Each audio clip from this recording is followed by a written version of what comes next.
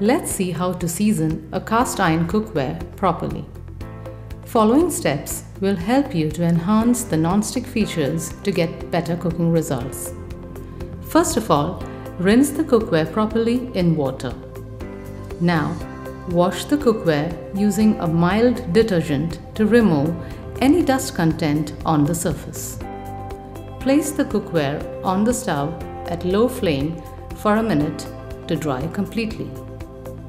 Pour a minimal quantity of oil and spread over the entire surface, including handle, using a paper towel.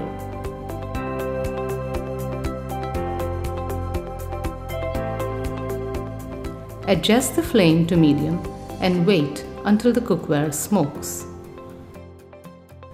Remove the cookware from stove and allow to cool to room temperature. Repeat the steps 3-4 times for better result. It's important to understand how to clean and store cast iron cookware properly. The seasoned layer will fade by the regular use of detergents which can cause rusting. While cleaning after use, it's better to apply a coat of oil on cookware surface to keep away rust and enhance the non-stick features. Rusting is normal in cast iron products and can be simply removed by washing off the rust and repeating the seasoning process.